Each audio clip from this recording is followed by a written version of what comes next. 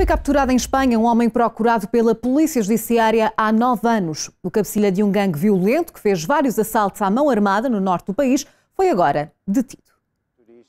O grupo violento era conhecido como Gangue das Picaretas. Em 2006 e 2007 protagonizou vários assaltos à mão armada.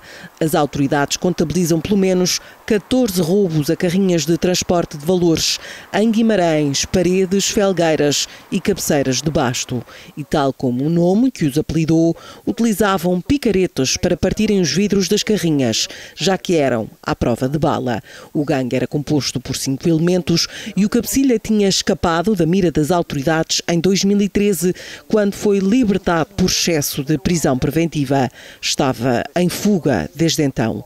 Apesar da ausência do país, foi entretanto condenado a 3 e 12 anos de prisão por associação criminosa, roubo agravado e detenção de arma ilegal.